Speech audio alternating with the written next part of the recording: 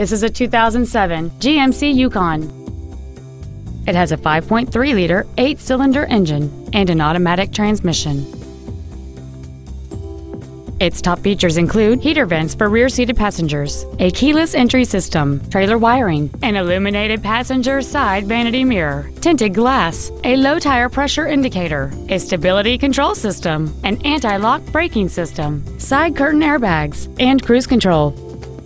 This GMC has had only one owner and it qualifies for the Carfax buyback guarantee.